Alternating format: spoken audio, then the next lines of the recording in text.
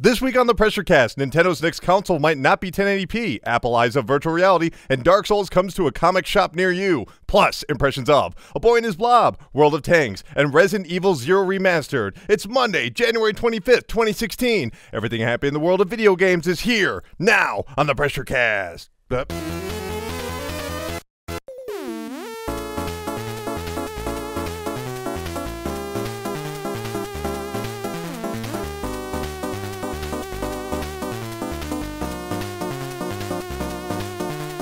Hey, hey, Pressure Pals. Welcome to the 114th episode of the Pressure Cast. VideoGamesAreDumb.com's weekly news panic that posts every single Monday at iTunes, Stitcher, YouTube, TuneIn Radio, and America's longest running independent newspaper at ShepherdExpress.com. My name is Colin Two Coffee's Tanner, and I'm caffeinated and ready to ramble to you about some video games. And across from me, Justin Jumping Engelbart. Ah, let me just jump in here like we're playing hopscotch olden days. we will be uh, playing some video games of sorts, and by that I mean we'll be just talking about video games. I know what you were trying to say there when you said that we would just be talking, but Yeah. we're going to be doing more than that, aren't we? I hope so. We're going to be having a lot of laughs, a lot of fun, and maybe a little bit of learning. Uh, I'm going to learn a lot from you. In case you never listened to the show before, each week the Pressure Cast slices up the latest video game news, past, present, and future, and delivers it right into your ears in two hours or less in several sensational segments, starting it off with. Oh no, here it comes! Kaboom! That's right, it's time for the earth shattering news, news, news. That's right. Once again, the earth shattering news of the week is a rumor. Uh, well, these rumors are juicy, though. They are. This is about the upcoming Nintendo console, codenamed NX. We actually don't know what the name of the console will be when it comes out. It'll probably be something stupid like the U. unicorn. Yeah. Yeah. Whoa. See that? We won't do that. They probably want to avoid the letter U after the disastrous sales of the Wii U. And you might be saying, "Hey, the Wii U didn't have disastrous sales. What are you talking about? They got 10 million." So uh? PlayStation 4 is up to that 30 million, huh? Well, eh, everyone I know that has a Wii U loves it, though. I do love my Wii U. I hold it precious and dear. But here's what happened. Uh, Tashi- Here we go. Takeshi Machizu. Okay, there's a reporter. Let, me, let me try to say his name here. Ta- Takashi Mochizuki. sure, he's a reporter for the Wall Street Journal. He was on Twitter saying that uh, he had heard of a recent Nintendo NX survey, uh, and one of the things that was in there is that it might connect and work with uh, PCs, smartphones. And even other consoles, including like the PlayStation 4. What's going on here? Well, Yeah. we don't exactly know that in, more about that information. We know that it was reported from Dave uh, Gibson, uh, who is like the head of research at Macquarie Capital Securities in Japan. Weird title. Yes. Well, there was also another survey that was apparently put out by GFK. Uh, they work for Nintendo. Nintendo, uh, they are a client of Nintendo. They take surveys uh, from time to time. Here's what we've learned from this supposed survey. Take all of this with the biggest grain of salt. But come on, th- these are two reports coming out in the same week. You know what I'm saying here? Apparently, it will be capable of having 4K, 60 frames a second video streaming. Right? That's okay. Okay? And that the uh, gameplay would run at 60 frames a second That sounds good to me. at 900p. Yeah. Well, I was reading about this. The 900p thing, it, does it not upscale or anything? When Oh, you- of course it upscales. I mean, you you, you played your PlayStation 3s, your Xbox Right, right, right. 360s. Those all upscale. You, you in fact the Wii U, the majority, the bulk titles on the Wii U are 720p. So this is not a huge deal. In fact, there are a number of Xbox One titles that are 720p and 900p. Here's the thing. We have more information to get to about this. I know that the general consumer, you know, mommy going over to the shop, you know, saying, "Should I buy this system?" If they say, "Oh, it's, it's 900p," no one cares. No one understands what that means. However, just like the Xbox One, if they communicate, "Oh, this isn't as powerful," I'm getting way too close to my like a mic. You hearing smear that? campaign kind of thing? oh, this isn't as powerful as, say, the uh, PlayStation 4, Xbox One, that's easy to tell somebody. And, you know, if they want to dig deeper, they can find out that information for themselves. So that's rather problematic, you know? Yeah, yeah. Uh, so I don't think it's a huge deal. They've also mentioned that they'll have some sort of online system that will be free, but you could also have a paid membership of sorts for month to month or even a yearly subscription, in addition to another subscription that would allow you to actually play a select number of titles. Sounds like PlayStation Plus, except uh, it would have a library of at least 150 games, and the games would be refreshed every six to 18 months. Kind of murky details still, but they're just operating off of that, like that Netflix sort of uh Yeah. system there, where it's like, oh, Well, it, it sounds more to me like PlayStation Plus, or if they're going to generally refresh all of it, like even if you download it, they'll take it away. A little bit like Sega Channel back in the day, where you'd have that cartridge and you would download games, and then you could play them as long as you wanted. But if you know you had to make space for the next game, right, Uh, right. I mean, this is a great idea. Let's let's take all this news at once. Honestly, the idea of some sort of Netflix subscription for Nintendo, I think, is absolutely intelligent on their end. It is the smartest move they can make because I think the biggest problem a lot of us have had uh, going from console to console, you buy the Wii, you see that they've got Super Mario Brothers 3 on there. You go, "Oh, this is awesome. I'm going to download that right away." And then you get your 3DS and it's like, "Oh, wow, Super Mario Brothers 3. Well, I already bought that. Oh, no, I have to pay for it again." Then you get your Wii U and they're like, "Oh, actually you got to pay for that is again. but don't worry, if you buy it on the Wii, we'll only charge you three dollars. And it's like, motherfucker, I just gave you money for this game. Yeah, just let me have it. This is how my game. And people will say, well, that's fair enough. Nintendo has to make a profit, and I understand it. But we are in the age where if you buy an application on your iPhone, doesn't matter if it's iPhone 4 or 5 or 6, and you upgrade to a different uh, iPhone, you still have access to those apps without having to buy them again. And all the updates, they're yours to keep. That is the model we are currently in. Uh, so the idea of paying for 25 year old titles repeatedly. yeah, know, yeah. uh, $20 just to play it on all of your devices, that's idiotic.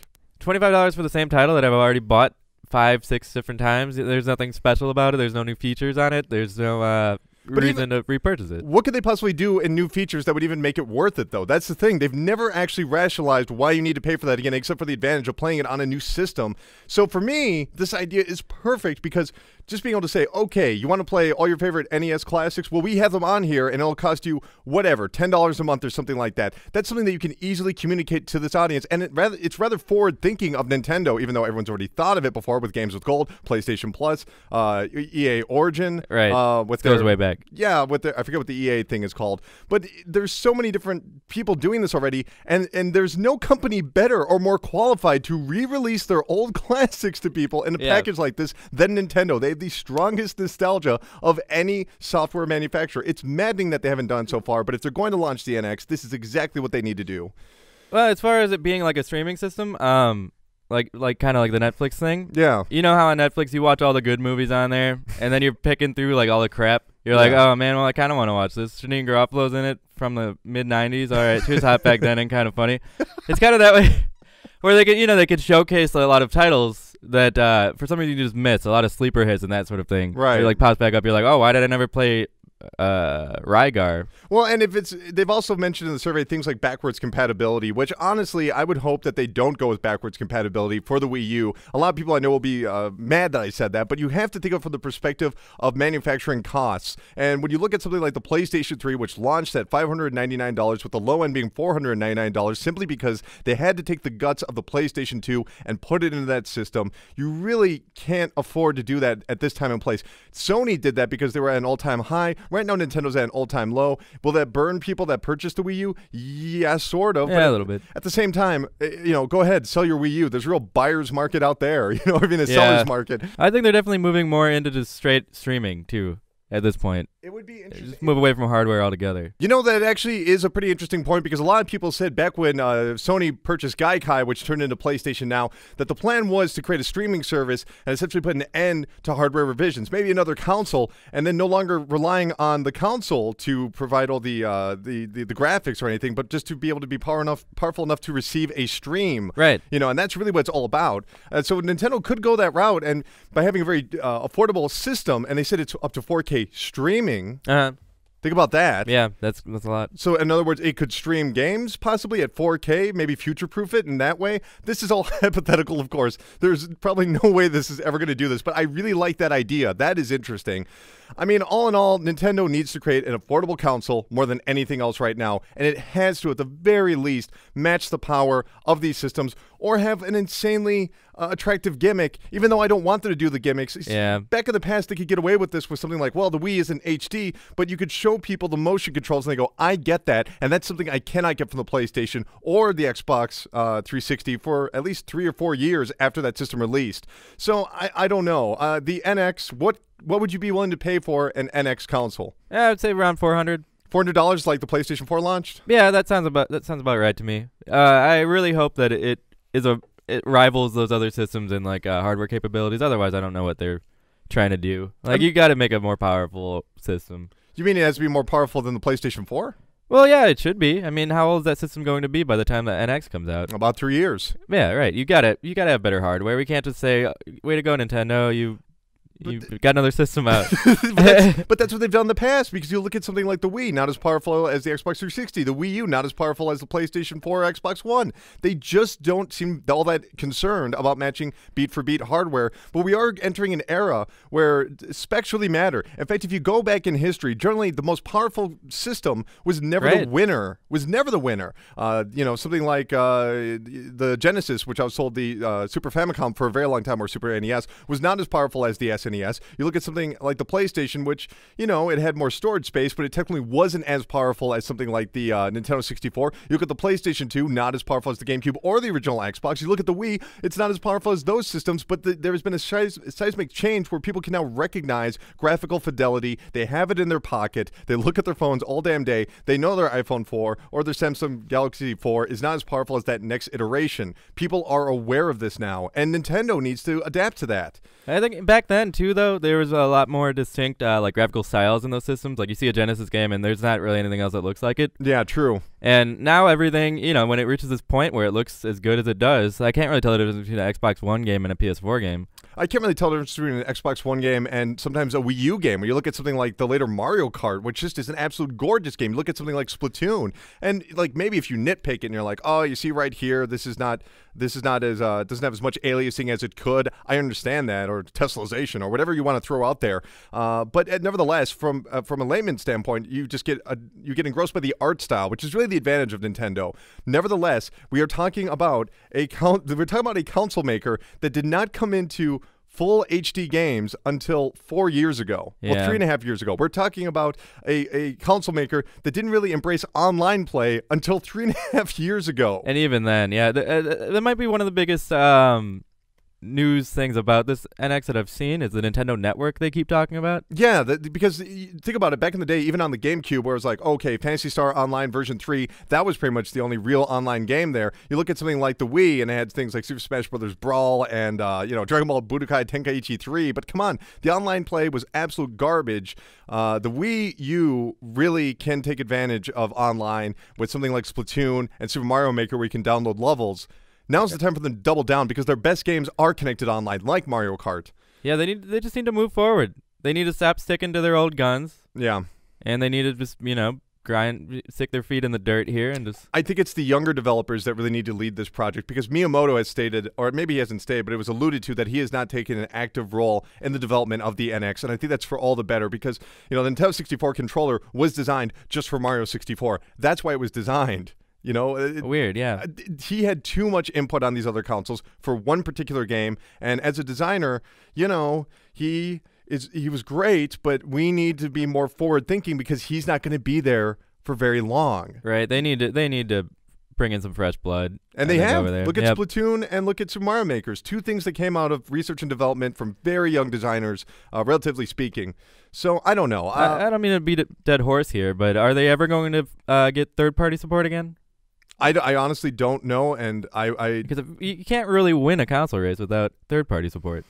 Well, you know, even the Wii, which even though their third-party games didn't sell particularly well, everyone took a crack at it. Electronic Arts had things like Boom Blox. Ubisoft had a bazillion games like those Raving Rabbids games that you just are all. Oh, those are fun. Uh, I think those are a launch title. Uh, they the also Wii. well, they also had things like uh, you know Red Steel from Ubisoft. You uh, liked that game when it came out. I remember. Uh, yeah, yeah, I might have. Uh, it was pretty cool at the time. it's a really bad game. yeah. I don't know. All in all, the NX, uh, will it come out this year? Who knows?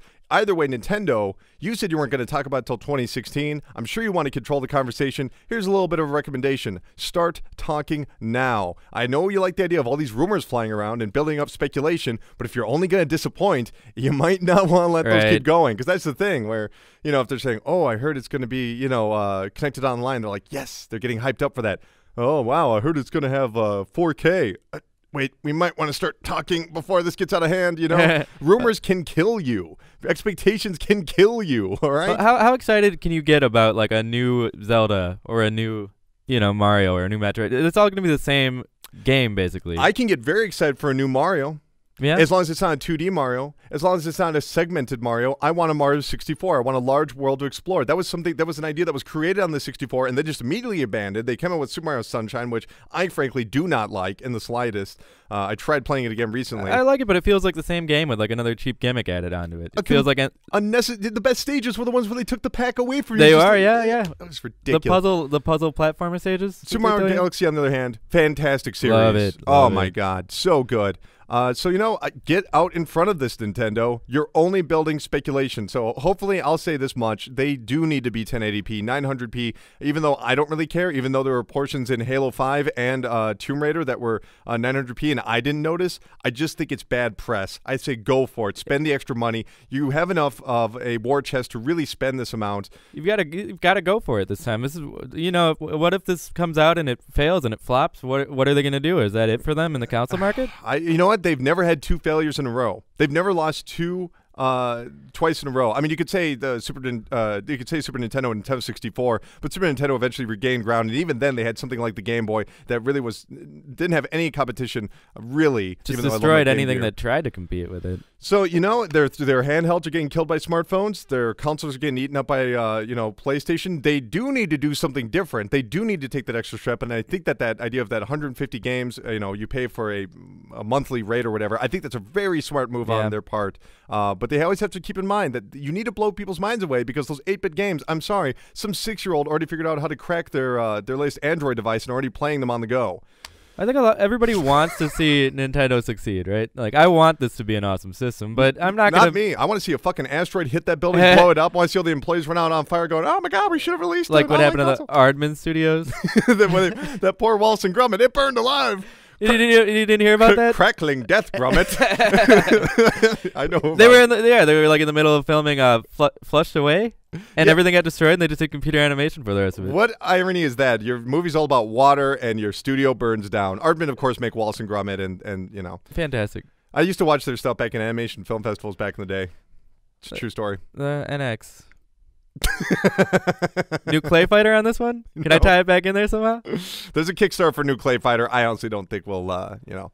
There's a Kickstarter. If just name whatever game it is, there's a new Kickstarter for it. It's stupid, but there's a new Kickstarter. What about. Firefly, the TV show? I'm sure there'll be a Kickstarter for an animated series voiced by everybody. I'm sure. This is all just speculation. I'm just making this up. No, you uh, well, Nathan Fillion said something about like, oh, if I own the show, I would make more episodes. So the fans started to Oh, kickstart Jesus. uh, for him to yeah buy the show, and he's like, no, I wasn't serious. I've got enough. I'm very successful. Like I've got Castle going. I'm Well- doing well, really well here. I want to pull mic a little bit away from you, but you're doing. gr- This guy's on the mic this week. Can we give him a round of applause, everybody? He's on the ah, mic let's hear it from the back row. What about you in the top shelf? Oh yeah, the top shelf. Hey, if you have any opinions about the NX, remember you can contact us at PressureCastPod on Twitter, 954-947-7377 for all your voice or text messages, or even email us, pressurecast at gmail.com. We will read your emails later in the show, and if you didn't catch all that, don't worry, it's in the description below. We have to get moving. I want to talk about that next forever, but let's keep going. Oh, Goddy, where are we going?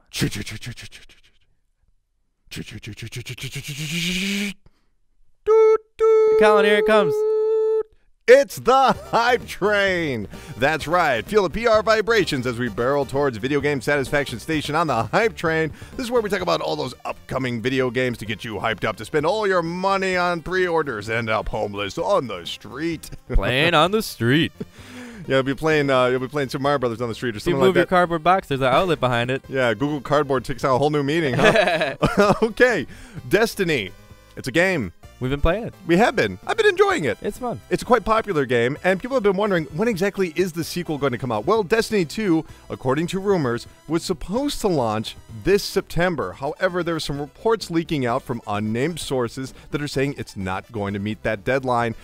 So I have to ask you, Justin. Yes. Al- Also worth noting that they will have this event called uh, Crimson something. Crimson Days, where they'll have two versus two variants on the Crucible mode, which is their online multiplayer. We're gonna we're gonna play Crucible. on We are, we yeah, are. We finally are gonna get around to it. Um, So can we record it and put it online? Uh, sure, I'll give the file to you. We still have to test that out, but uh, Sweet. absolutely we'll do so. we have new technologies. We'll have the power. We have Uh, a microwave with a phone attached to it that can send text back in time. That is from your stupid uh, Steins Gate. Steins Gate.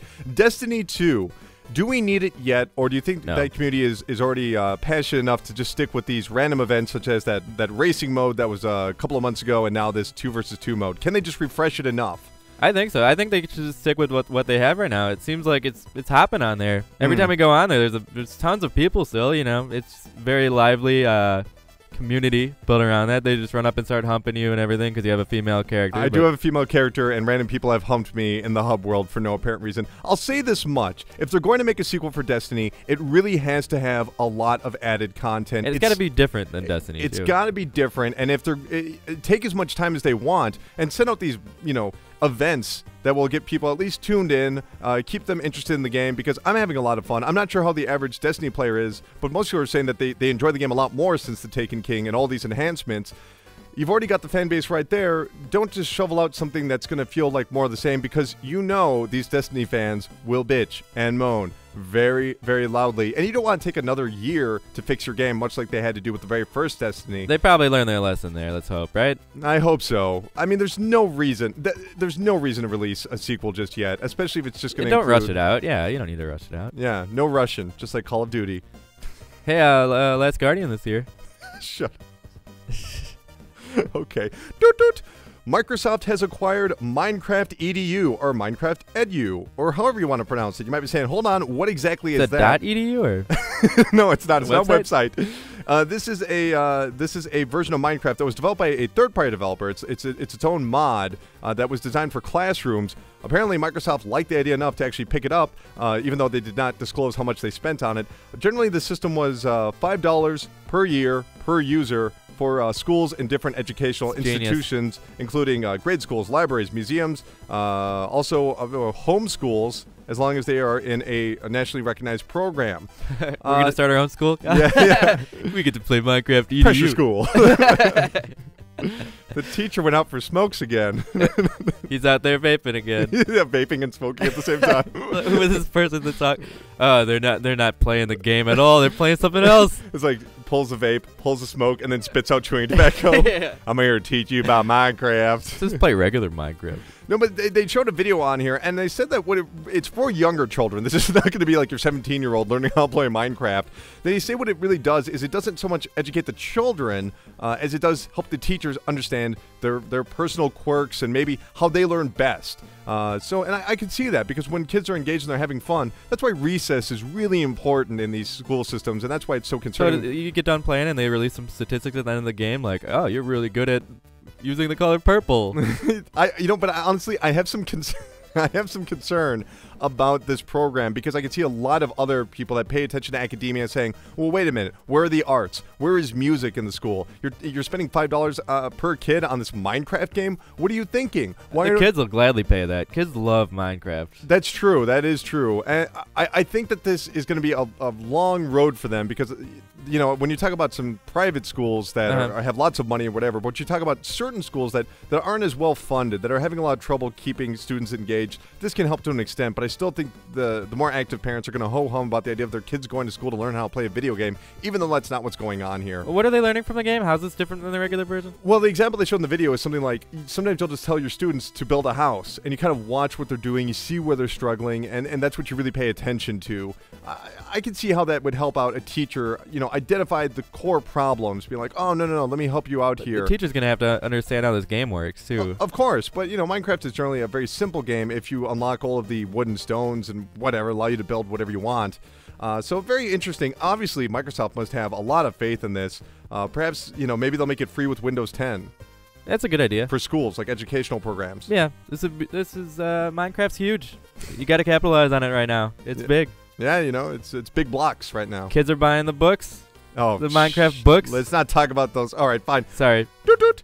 According to five unnamed sources, Intelligent Systems, the creators behind Fire Emblem, uh, Advance Wars, no one ever talks about Advance Wars, and they've worked on the Paper Mario series, will be making a brand new Paper Mario for the Wii U, according to Emily Rogers. She's someone that is a trustworthy source for the most part. She said the game is currently being localized and tested as we speak. A brand new Paper Mario on the Wii U. That's a system seller for me. Is, you, you would really buy it for if Paper it's Mar- a, if it's like a 10 out of 10 Paper Mario, you mean if it's Thousand Year Door too? I love Thousand Year. I like the original on N64 a lot too. Uh, Those are two of my favorite RPGs. There. It's really hard to go back to the 64 one I found. yeah. But the I like the uh, things like um, I actually like Super Paper Mario on the Wii, even though it was not really a traditional RPG. You know where you'd switch perspective from 2D to 3D. Right. I thought that was actually a really good game. Sticker Star, obviously not really what They've been wanted. sort of going downhill a little bit here. Well, whatever that Paper Jam is, is not getting the best reviews either. 6.5 from me, and I didn't even play it. Great.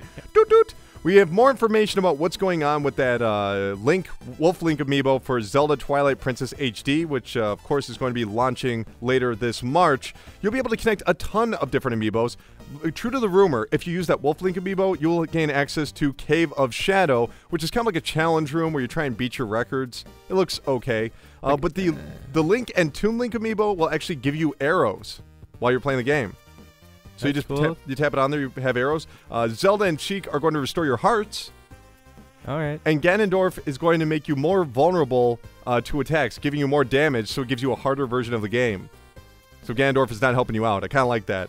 That's kind of nice. I don't get the. I, I don't get the amiibo thing. What? So you're like, oh, I need more arrows. I'm just gonna tap it with this amiibo. Honestly, I hate running out of arrows in Zelda games. I always thought that was stupid. Yeah, you just should have unlimited arrows. But then what would the Didn't you have do? unlimited arrows in uh, Link to the Past? Yeah, you do. Well, there you go then. of the other ones. Yeah. Yeah, that's better than any of the other 3D Zeldas. Ooh, I agree there. there's no denying it. Link to the Past. Oh, that that one on uh, 3DS is amazing. Oh, uh, Link, Between, Worlds. Yeah, it's a- Oh, we super said at the same time. Uh, Doot doot.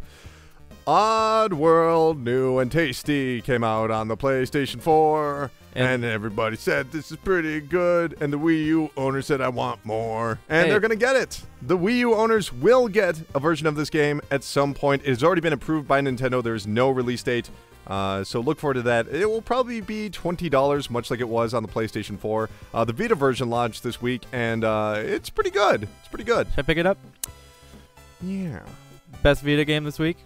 Sure. Yeah. Okay. I'll go with that. It's it's a faithful remake, um, and it, it has a lot of new ideas. The only problem I have with it is that the automatic run button, you when you use the analog stick, you automatically run, which you actually have to change the controls. Uh, they they Falling updated off cliffs and stuff. Well, I didn't like it because there's very very uh, Precise jumping and World Oddworld is sort of like a uh, it's a very difficult 2D puzzle game, sort of in the vein of Out of This World or Flashback or, or Heart of Darkness. Fantastic game. Love Heart of Darkness. Highly recommended. You gotta check it out. Doot doot. We have our backwards compatible games for January for Bring Xbox it. One. You're not gonna be happy. We have Aegis Wing, Age of Booty, Counter Strike Global Offensive, Jeremy McGrath Off Road, no. Sma- Sam and Max Save the World, Well, maybe. Skullgirls. Yes. S- Uh, there's a better version on Xbox One though. Small Arms, Soul Calibur HD, Space Giraffe, and for some reason, The Witcher 2: Assassins of Kings, which not only is available now for backwards compatibility, but it's just free on Xbox Live for no reason. You actually have to go through the website. If you don't own an Xbox 360, go through the website and download. It's just free. It's just free. No one knows I why. don't understand. I don't understand. Does, does not compute. yeah, there you go. Exterminate. Xbox confused. Doot doot. This is the best name of the year so far. Mortal Kombat X, released last year. Now they're going to create a basically a game of the year version with all the DLC titled Mortal Kombat XL. I love it. Oh, it's beautiful. That will be $60. But in case you're not interested in that, you can just get the uh, Kombat Pack 2, which introduces four new characters and some new skins for $20. But if you're not interested in that, you can get both Kombat Packs combined for only $25 uh, if you already own the base game. That'll get you all the bonus characters as well as a number of character skins. Hey, you were telling me about Leatherface last week, but Yep. you forgot to tell me about like Jason's in there. yeah, but that Predator- was from the, that's from the last Kombat Pack. oh, it's so cool though. Like Predator. Are you going to buy Mortal Kombat XL? Uh, no, probably They're, not. they're going to have a brand new netcode that apparently is going to make the game a lot better. However, it's not coming to the PC, and a lot of PC players feel burned by this. Uh, what are you going to do? I do watch a lot of YouTube videos of fighting games, but I just don't really know when I'm gonna play them because I don't really play against people that my, I could play them online. I guess. Release Arcana Hearts on the PlayStation 4, Yeah. please. God damn it. Doot doot. UFC 2 will be out on March 15 on 15th on the Xbox One and PlayStation 4. They've just introduced a very special guest in their game. Actually, two of them, even though it's the same person. Mike Tyson? Mike Tyson. You can either play as Iron Mike Tyson from his uh, classic run in the late 80s, early 90s, or as Legacy Tyson, who, of course, has his facial tattoo. And, uh, you know, it's the Mike Tyson we know today. Uh, Mike Tyson as a guest entrant. Worth noting, last year it was Bruce Lee. Uh, which was not very good. Does this pique your interest in the game, having Mike Tyson enter the octagon? I don't understand. He's not a UFC fighter. He's a boxer. Yes, but if you can have, wouldn't you like to see classic Mike Tyson from the 1980s, early 90s, going up against somebody like Jeremy McGrath? How's he gonna fight? Like, I don't understand. There are many different styles of of, of mixed martial arts. So he just comes in punching. yeah, well, look at someone like a Brock Lesnar. You know, someone that was I think more. a grappler's just gonna kill him. He's just gonna take him down, submission. It's over. Sorry, Mike. But he's also tremendously strong. He could often, you know, break out. Yeah. I mean, it's it's a dream match. Wouldn't you at least want to see that? But who's the match between? It's Mike Tyson and whatever current. Jeremy McGrath, I already gave you one. Oh, eh, that's kind of exciting. I just feel like we were we were just talking about Mortal Kombat. They have like 50 amazing like. Did I say Jeremy McGrath? Yeah, you did. The, the I have no idea who that is. he's a he's a BMX guy or is he like a? I want to see that fight. Him with his fucking helmet he's on. He's just running away the whole time. Get the fuck away from me, Mike. He's getting the helmet. I meant Colin McGregor. God damn. Oh, Conor McGregor. Yeah, Conor McGregor. Did I say Colin McGregor? Yeah, I just feel like having one hidden, ca- one like special character isn't enough. You need to have like ten or eleven of them. you are okay. Fine. I'm sorry, I'm all about like the Mortal Kombat. Ca- I'm not gonna buy it anyway, but it's so cool to have all these hidden characters, special characters. Oh, at least you're excited. eh, But so maybe you'll check out the game. If it's good, I'll play it. You, li- it? you like UFC a little bit, I- don't you? Oh, I love UFC. Yeah, because just because you listen to that goddamn podcast. where Joe Rogan. Yeah, Joe Rogan. Fucking numbnut. Doot doot. here's the, here's uh, Justin's news of the week. Uh, this I read this one? February, no, no. It's this February, even though it doesn't have a release date yet, this February, the PC, the personal computer, will be getting a game called Danganronpa. oh baby. Justin, Danganronpa, mostly a visual novel. Right. Do you think that that's worthwhile to play on your on your desktop, or is that just something you'd rather have just on a smaller screen while other things are going on? No, yeah, you can play that on, on the desktop. There really isn't much uh, gameplay as far as like gameplay goes. The uh, court, there's court scenes basically where you have to prove whether like who killed who, that kind of thing. But it's all li- very linear. You get kind of pushed into like uh, making connections between things that If you were to give this a ranking on a one out of ten, what would you give Danganronpa? Because you seem the first one I'm giving it a 10. I love it. You gave it a ten. Oh, it's amazing. Yeah, the storyline is great. One of your favorite games of all time It's up there, in your top twenty. top 20 for sure. Yeah, that's insane. Great characters. It, uh, if, it, if it was a little bit more like Phoenix Wright in the courtroom scenes, I would like it a little bit better. There's like more actual gameplay there, but the storyline's just amazing. Objection. Right. PlayStation 4 and PC users will finally get their hands on Jonathan Blow's The Witness after a long, long development cycle. However, the Entertainment Software Ratings Board, the ESRB, have also rated an Xbox One version of the game that has not been confirmed that it's coming to that console. No word if it actually is, but that's rather interesting. We do know there's going to be some sort of iOS mobile version at some point in the future, uh, so keep your eyes peeled on that. Keep them wide open. Overwatch. It's exciting. Blizzard has finally made a brand new IP, and people are excited to get back into that closed beta. However, you won't be doing it in January. No, no, it has been delayed until February. Why? Well, according to the game director, Jeff Kaplan, one of the things we noticed consistently, well, one of the things we noticed constantly mentioning was there. there's a brand new mode. We're very excited about it, and we have some great new maps to support it too. But we need to get a little more time to get everything just right. They don't know what the mode is. They didn't name what the mode is, but there you go. Look forward to that if you can, son. When's that game actually come out? Uh, no word on when it's exactly coming out. However, uh, we do know the open beta will be back online in February. Oh, very nice. Doot doot. Twitch. It's a service where a lot of people play games. It's a service where a lot of people watch people play games. But one game they will not be people. The one game they will not Be be, people people, watching? watching. Wait, Technically true. let me tell you, one game that people will not be watching. Beer clanging, gun toting Rootin', tootin', hollering. is the uh, the very controversial game that's still early in development. Uh, Yandere Simulator. Now, this is a game that I've actually been paying a lot of attention School to. shooting thing. Is, no, no. What it is, first of all, this game is developed by uh, Yanduri Dev. He's this mysterious guy, only known as Alex, who's in his late 20s, unconfirmed. We know nothing else about him. Well, this game is about playing as this girl who has a crush on a boy and wants that boy to date her, so she does the natural thing. She tortures and kills other girls that might be interested in him. Love it. And this is a high school game. We're talking about uh, poisoning people. We're talking about stabbing people. We're talking about driving people to suicide. And from what I saw back in the day, it looked a lot like Hitman, the early Hitman games, where you had to hide bodies and whatever. And, and if the body, like an Inception thing, go in their head and yeah, no. the thing is, no, not at all. The thing is, if like the body was discovered, they would close school for the day, and then you'd lose your opportunity to kill more girls. So it's all about not getting caught. Uh, there's also things about taking panty shots. Um, so and it's it's very anime style. I thought the game looked really interesting. Uh, however, it is d- it is deplorable. Twitch is a family uh, website. They, I mean, yes, they're going to show lots of violence, but this is very specific, very disturbing violence. That no, they they are not a government institution. They do not have to respect the First Amendment. They're a private organization, and it's their absolute right to make sure this game never appears on their service. That being said, I really want to play this game. yeah, I do too. It sounds great. It's, it does look really good. Uh, so what are you So- gonna do? They're just gonna go to YouTube streaming instead, or what? Is High five. Uh, YouTube streaming. Wave of the future, everybody. There's also going to be a Kickstarter for this game, but no one knows exactly when. Uh, the game's not even supposed to be out till 2019 because it's only one guy working on it.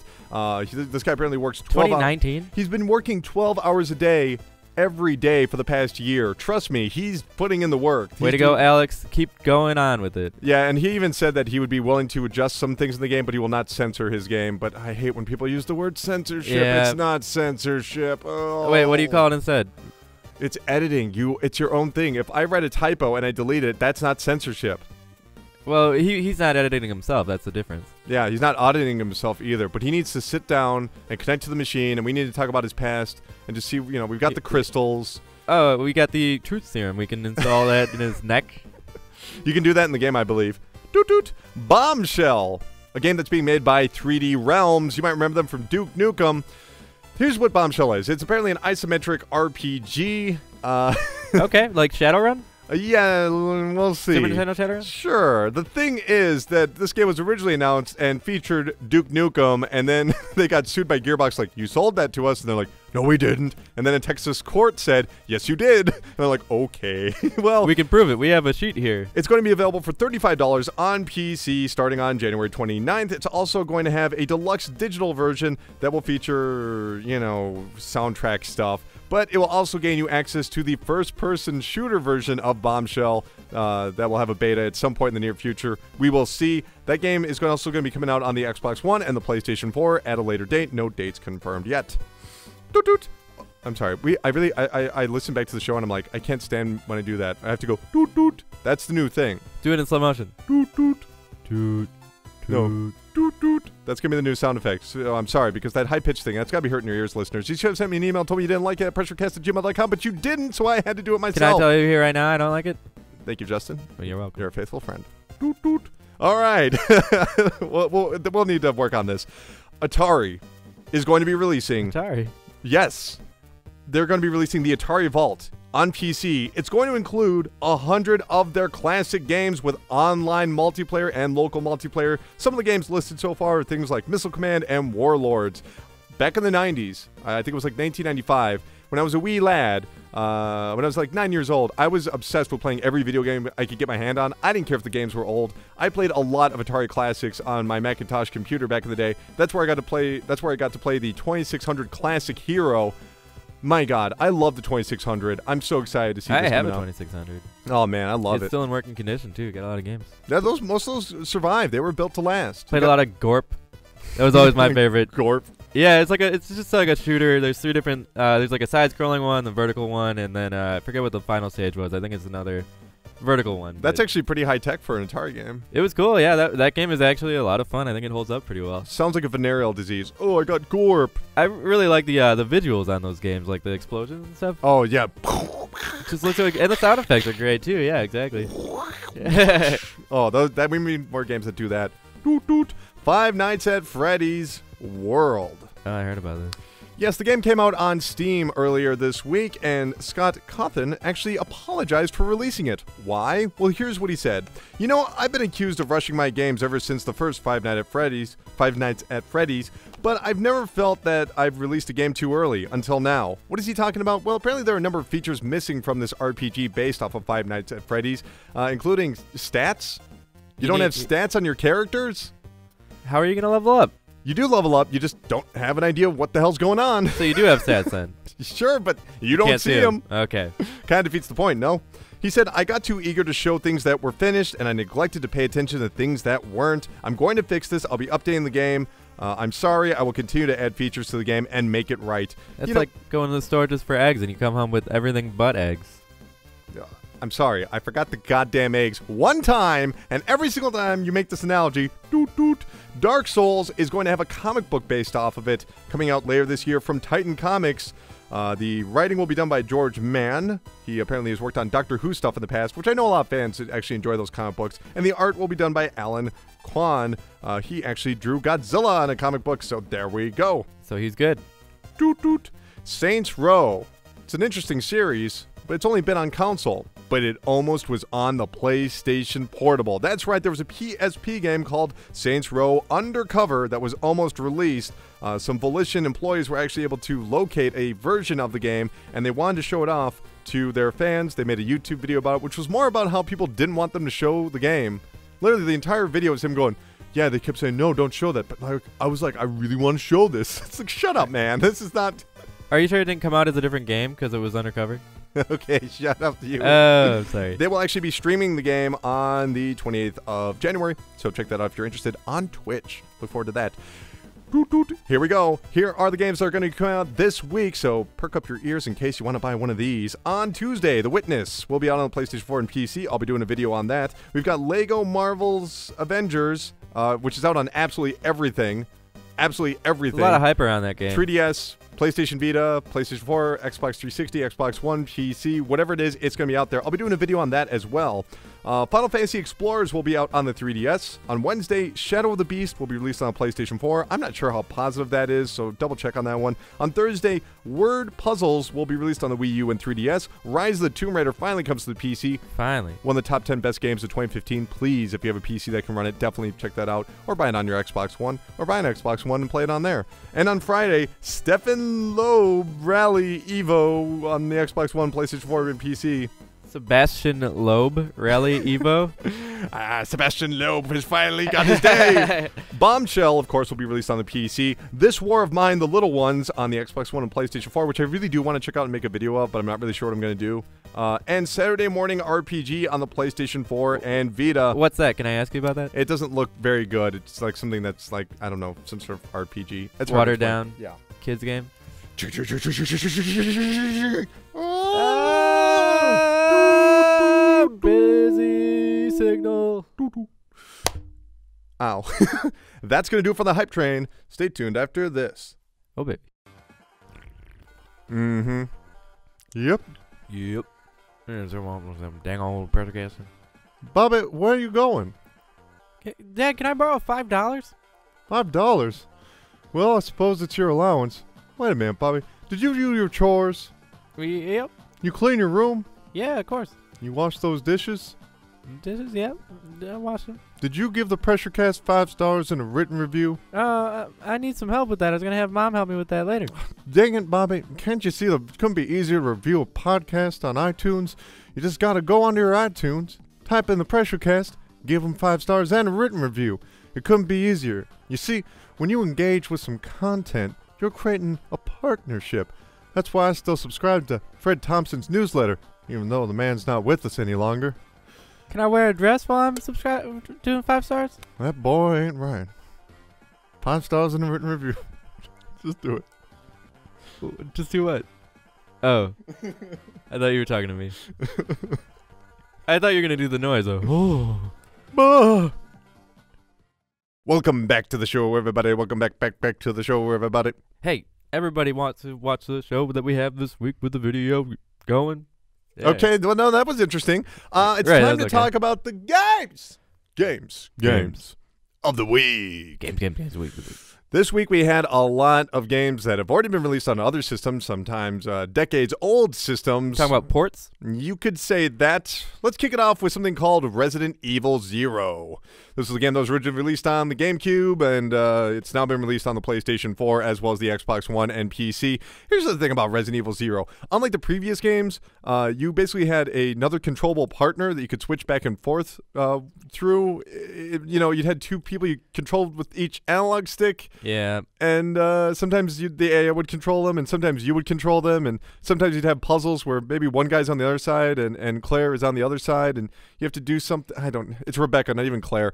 This is how little I care about Resident Evil Zero. Yeah. All I'll say is, if you like classic Resident Evil games, you should definitely check out the Resident Evil remaster from last year. Wasn't my cup of tea, but I know that most people really enjoy it. I love Resident Evil 2 and Resident Evil 1, but the problem with Resident Evil Zero is all of its new ideas, like this weird inventory exchange system and the and the partner system, just don't work. And the loading times are still there. Oh my god, the door's opening. Oh, you can't skip it. A ladder. You can skip the cutscenes. You press X and the cutscenes instantly are over and you're back into the game. But when it comes to watching a door swing open, no, no, no, you gotta watch that. That's the important You, part. you do so much backtracking in that game. yeah. You're gonna just oh now I got to go back through it again because I forgot the key. It's a lot of backtracking, and that makes it more problematic with the loading times. I'm not a fan of Resident Evil Zero, but if you liked Resident Evil Zero, go ahead, spend your money. I'll guarantee you, you won't have as much fun as you think you're gonna. There's no, ne- there's no nemesis in there by the way. Stars. Well, they wish they had stars. we should have done game, that huh? commercial. Listen to the pressure cast, Jill Valentine. Uh, I don't know who who am I then? Am I- you'd, you'd be clear. Don't open that door. what are you doing? Okay. Uh, also played World of Tanks. This is, of course, is a free-to-play game that has been available on the Xbox 360, on the PC, on the Xbox One. It's finally come to the PlayStation 4. It's a very interesting strategic shooter. Feels a lot like Ghost Recon, where you've only got one life per round, and you really have to delicately take these these big war machines and, and try and hide them underneath cover and, and try and sneak around and, and take out their enemies. Maybe shooting them right into their tracks so it makes them immobile, or Uh-huh. uh, or communicating with your teammates to try and uh, flank uh, opposing tanks uh, or take over their base. Either or, you can do that for any given match. It's very exciting. It's very intense. It's free to play. There's no reason you shouldn't download this to at least check it out if you have one of these available systems. But I will say, like I said, free to play means that there are some optional purchases you can make. Uh, They give you advantages. they uh, they give you advantages. Ow, they give you advantages, but uh, you know the game is still based around skill rather than you know how much money you spend. Uh, the thing is, is that from what I've understood from other players, uh, when you get in deep enough, you do have to spend money, and I'm talking hours upon hours, like months worth of I'm in playing. deep, man. Yeah, How am I gonna get out of this? Throw some money at it. that's the thing is that uh, I think it's worth it uh, uh, because it's uh, it, it's a game that you can play for weeks on end without ever spending any money, and then by the time they ask you to you know fork over some dough, you can just move on. Or if you want, you could spend literally a hundred dollars a year to get a premium subscription, and then spend like twenty bucks on getting a brand new tank. Uh, you can upgrade your tanks to uh, have different types of ammunition. Uh, they can do multi-shot or single shot. They can be very fast and not have much armor. They can be very slow and be used more like a sniper. Uh, it's basically a game that's built around camping, which is really interesting. Whereas most games are kind of like, "Oh, you camper, you're cheating." No, this game it's like, "No, you need to do that to You survive." gotta find the camping spot. Find the corner, find the bush, find the rock that you can hide behind, and then take out your enemies. I think it's a very So cool game. For all intents and purposes, it's just a shooter, right? It's Like just it's a it's a skill based uh, strategic shooter. It's a team based strategic So shooter. Instead of using a person as your avatar, you're just a tank. huh? yeah, basically, and I, I think that actually adds to a lot of the uh, the the fun of the game because the controls are very interesting. You're always using uh, up and down to go forward and back, and uh, then you're also using left and right to turn the body. So it can be kind of weird when you have your body sideways. Uh, and then you're pressing up and down to go left and right, where you're used to like going, you know, uh, forward or back. But that allows you to do things like pop out of uh, out of cover and, and take somebody out really quick before going back in because you might be Just detected. roll in, roll out. Yeah, it's super fun. I, I really enjoyed it. And yeah, maybe you have to pay for money sooner or later, but who cares? Like most games, how much gameplay you're going to get out of there? Maybe like, I don't know, 20 hours, 30 hours. If something like The Online Witcher. play will make it. Yeah, this you can play this game for like uh, 25 hours without having to spend anything. That's what I've been told at the very least. And I only played it for, you know, uh, a week and I thought it was really fun. So whatever. And lastly, we have to talk about A Boy and His Blob, which was released on the PlayStation 4 and Xbox One. This was also released originally on the Wii, which is based off a game that was released on the NES and a number of other other systems. You play as a boy, you have a blob, he's an alien creature, you feed him jelly beans, which you have an unlimited amount, uh, unlike the NES version, and they transform him into something that helps you complete puzzles. So, oh, how am I going to get up there? Well, I'll feed him this jelly bean, and now he's um, you know, he's a ladder and I can climb him. Or, uh, oh, there's this monster that's about to attack me. Well, I'll feed him this and he'll turn into a hole, and then the monster will fall through the hole and, and he'll die. Um, and that's basically the entire game. My biggest issue is that the puzzles are really, really easy. And I'm somebody that actually, you know, I'm not a smart man. I'm actually a stupid man. And Whoa. and I, I, I still enjoy puzzle games. I love my things like, uh, you know, Uh, Resident Evil, maybe. no, not even that. I'm talking about like you know Quantum. Conundrum or Portal Two or uh, or Mousecraft, which was one of my favorite games of last year. Really great puzzle game. And this just it feels really lazy. It's really adorable though. They have a hug button where you hug the blob, and that hugging a blob looks like a ton of fun because there's just there's no shape to it. It just it kind of you know it fits the hug very nicely. Every time that you feed it a bean, it turns into exactly what you need. Or- Uh, no, you have to select from the beans, so you can turn them Oh. into a ladder, and you get different beans for different stages, and you have to work around those uh, those issues. Sometimes it's not obvious what you're supposed to do, but in a really infuriating way, where it's like, no, there's this thing you have to do that's all the way up here, but you can't control the camera independently. You can only have blob cam and regular cam. Uh, ugh. They could have done a lot more to improve this. It it does not feel. It, it, it's very adorable, and I thought it was cool back when it was released, but it's been a few years. It doesn't look great, and they didn't improve it in some meaningful ways. so it's not Lost Vikings good. No, do not recommend. Oh man, Lost Vikings. There's the game for you right there. I love that game. The dude with the shield, he had it in the front, and then the You play anything this week you want to talk about? Uh, not really. Other than playing some Destiny with you and a little bit of Rocket League, that's about all I really have done. I'm still enjoying Destiny. We gotta play more. Yeah, I like the online stuff. It adds a lot. it's basically the entire game. You could Right, say. right, right, right. Yeah. Yeah, but I don't think I'm gonna play offline anymore. I didn't think I'd ever say that. Oh, you mean um, Rocket League? I thought you were talking about Destiny. No, both. Yeah. Okay. any any games? I- Well, I guess I still I played a little bit of NBA 2K16. It's it's pretty good. The presentation is great. Um, it's just not as fun as as playing Rocket League. Yeah, no, isn't that crazy? Well, more to talk about Rocket League later in this episode. Great. Well, what do you say we get out of here? Let's go outside, get some fresh air. It's pretty fresh out here. Oh, I'm telling you, we You got a place that? that we like to go to where it's always warm with the glow of cold hard cash. That's right, it's time for the Chart Park. You didn't interrupt this time. The land where money grows on trees. Yes, the Chart Park. This is the part of the show where we find out which fat cats of Wall Street will tip their top hats towards Lady Luck as we discuss all the business, legal, and financial news in the video game industry. Kicking it off with Apple. You might have heard this company. They're uh, a little wealthy. They recently hired Doug Bowman. Who is Doug Bowman? Well, he used to work uh, for Virginia Tech as a computer science professor. Uh, he especially focused on virtual reality. So the rumors are flying around that Apple is getting into the virtual reality field. What would you say is the likelihood of that? I think they're gonna probably wait, bide their time, and see how it goes. See what the Hmm. problems are with a lot of these systems before they they they- they're the kind of company that you know they can't afford. Well, they can totally afford to take some risks like that, but you don't see them do it.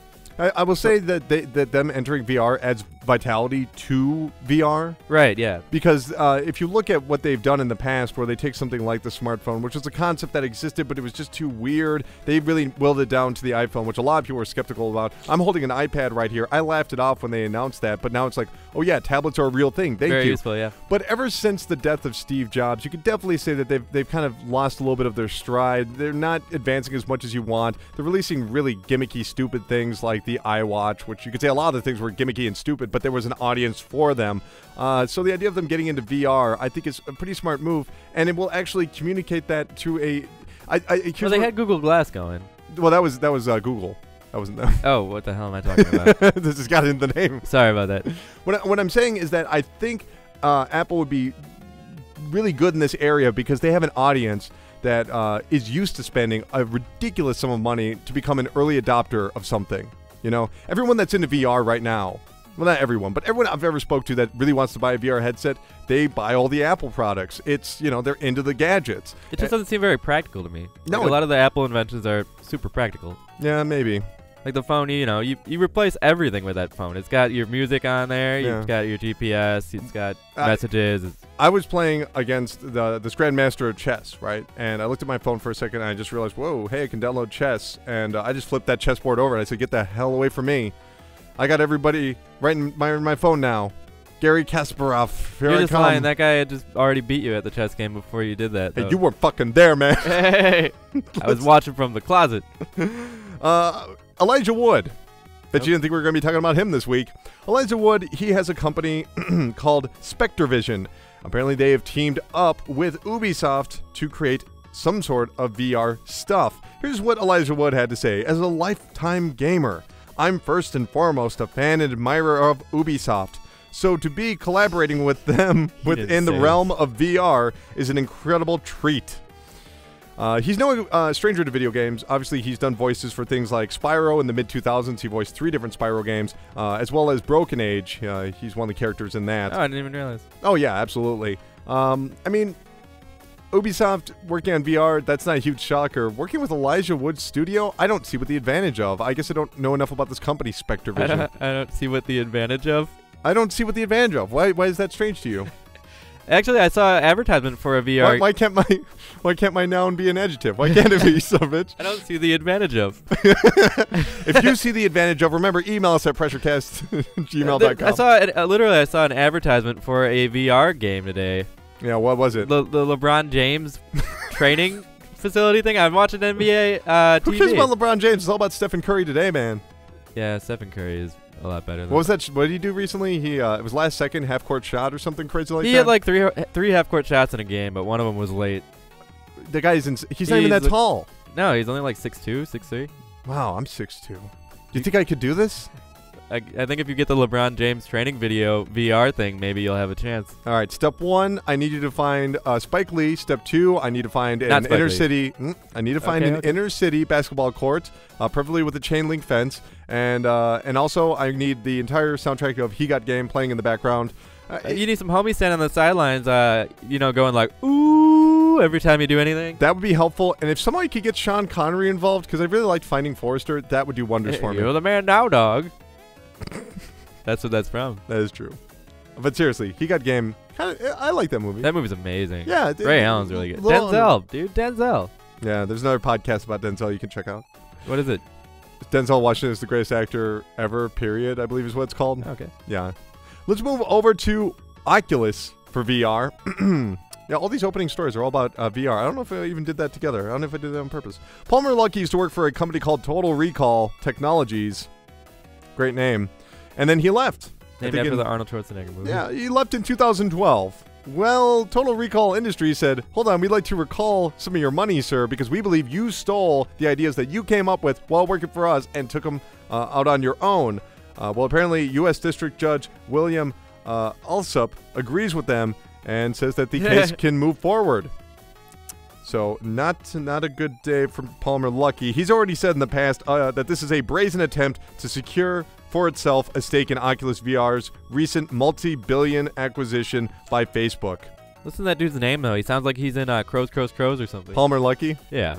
he's uh, got a Palmer, get over here. I know we have to wait till Pocket Talk to talk about mobile devices, but we do need to mention Nintendo's recent forecast for their upcoming profits. They've said that within the next several years, Brr. they will have a 100 billion yen profit as their target. This, of course, is 400% more than their profit from last year. They said this will be because of the mobile device uh, initiative, with their first game coming out later this March. Do you think that's an overestimation, or It is. It's a very hopeful company. They always have these projections of great things to come, but uh, we'll see if they actually catch But it. in on actuality, the worst nightmares are just starting. Re- recently, yeah. It's just. I mean, they're still making a lot of money in Japan, right? It's still super successful over there. Yeah, just- the, the games sell, but the console market's kind of dying there. So that's you know, they, I guess they were the most profitable uh, software developer in Japan last year. Uh, maybe I don't have that right. Uh, maybe I want to look that up. Uh, I'm not really positive. I think that was it. Yeah, I think you had it. You nailed it. Okay, great. Moving over to BioWare. Oh, baby. Yes, David Gaider. He was a writer and also a designer on such games as Star Wars Knights of the Old Republic, Baldur's Gate 2, and all of the Dragon Age games. Uh, his most recent one, of course, was Dragon Age Inquisition. So, it was a little sad when he announced that after 17 years with the company, he will be leaving BioWare. No word on where he's going next. He's gonna start his own studio and kickstart something. Look, BioWare's what everyone does? BioWare's, uh, you could say that the main catch with their games, despite how good their RPG elements are, is their story, Right. right? Do you think this will have an impact on their stories going forward to lose such a visionary? And I don't use that lightly, but if you look at his, his work, one thing you can say about any BioWare game is the story is always good. Oh, I love the story. And like Baldur's Gate 2, it's one of my favorite games of all time. Really. What about Knights of the Republic? Eh, it was good at the time, but you can't go back to it. I don't like. I don't like that one. I don't like Dragon. Dra- I mean, if he's a writer there, he really created those characters, like like HK-47, which is probably the most memorable Star Wars character of the past 30 years. oh, definitely. You know? 30 years, you think? Yeah, because that would put it back to like 1986, dude. Not Jar Jar. yeah. Qui Gon Jinn, Darth Maul. I thought Jar Jar was okay, except for his insanely offensive depiction Oh, of everything wrong. with- Jamaican. Oh my God! What the fuck, George Lucas? I mean, that's the thing that pisses me off. We're like, he was annoying. Fuck annoying. He's really offensive. You Yeah. know? Misa don't want to do oh anything Oh my today. God! It's it's it's almost like being like. Man, uh, the, the, that KK rally is really loud. Oh, it's just- too loud. If they weren't so loud, you know, like Jesus. all you gotta say, do, all you gotta do is say Misa to get right into i- character. What the fuck, man? Yeah, I know, it's just insane. Just uh, George Lucas had no idea what the fuck he was doing. Let's just all we all know that. Uh, George Lucas, if you ever want to be on the pressure cast, let me know. Uh, and if you want to defend yourself, otherwise I'm going to keep talking shit. Okay, let's move over to EA. The CEO of Electronic Arts, Andrew Wilson, had this to say: If you understand the video game business, Electronic Arts. Uh, if you understand the video game, if you under- if you understand the video game business, comma Electronic Arts, the branding is this corporate beast that just wants to take money from uh, people uh, while they play our games. Uh, that's not actually what we're trying to do. For the longest time in civilization, we would spend money as human beings, then we would spend time where we spent our money. That's reversed now. Don't shit where you eat. You come in and play a bunch of games, and ultimately you invest after that. So really looking at the future of games, including mobile, uh, and just trying to say that hey, we're not this awful you know creature that's just trying to take away your money and, and shovel shit out the door. You know what this sounds like? Hmm. Episodic games. okay, maybe. Sounds like that's where they're going with this. Maybe. Here's what we need to talk about next because remember, he's not greedy. Also in the news, Andrew Wilson earned $13.9 million in earnings last year. Uh, that's really not that much. Beavis and Butthead. to be fair, he actually uh, probably made the majority of it from his uh, his stock, considering that the stock has gone from $26 when he uh, became CEO to $67 today. So, you know, there's probably a good reason why he's, you He's know. just a shrewd guy. He's making smart. D- Okay, if we don't talk about the cult, we don't need to talk about the culture of Wall Street right now and how much CEOs make. the Everyone- one percent. Everyone's got an opinion on that. Slow down, Bernie. Uh, but we do need. But I, I will say that uh, for for a company that's making you know billions or, or it's you know its profits are insane. That's really not that much. Thirteen point nine million million dollars for a CEO It doesn't seem ridiculous. for what you see elsewhere. Relatively What's the rest of the okay.